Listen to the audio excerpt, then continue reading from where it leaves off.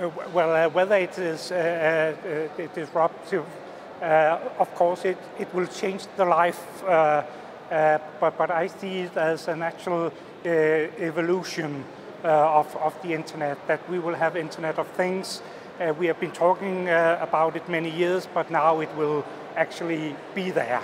And artificial intelligence, everybody are talking about it, and I think it's uh, Uh, exciting to see, but of course we should be aware what it can be used to.